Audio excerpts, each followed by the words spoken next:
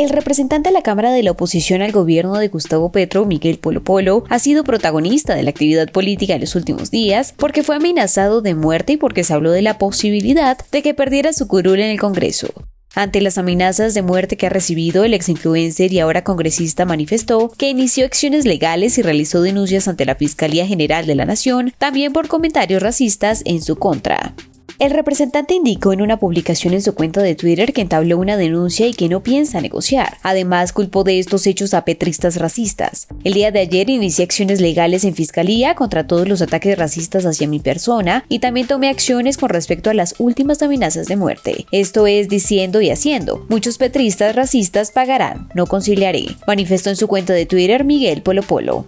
Ante las palabras de Polo Polo, muchos internautas reaccionaron en contra del representante de oposición, especialmente cuando habla de racismo en contra suya y le recordaron que él también ha hecho comentarios racistas y desobligantes en contra de la vicepresidenta Francia Márquez. Miguel Polo Polo en más de una ocasión le ha emprendido en contra de la vicepresidenta Márquez, razón por la que fue citado por la Fiscalía General de la Nación. El representante se ha referido a Francia Márquez como ignorante, bruta y que se victimiza, entre otras. Hace unos días el congresista Polo Polo dijo que la vicepresidenta Francia Márquez se encontraba tan desocupada que se encargaba de demandar a todo aquel que la llamara amigo o gorila y pidió al presidente Petro que le busque algo para hacer a la funcionaria. Oiga, Polo Polo, usted habla de racismo y usted es racista. De mi parte no estoy de acuerdo en que usted ocupe la curul que ocupa por el color de su piel. Es porque considero que usted no representa a la población afrodescendiente. Y entienda algo, la última palabra la tiene el C.F publicó el usuario en respuesta a Polo Polo.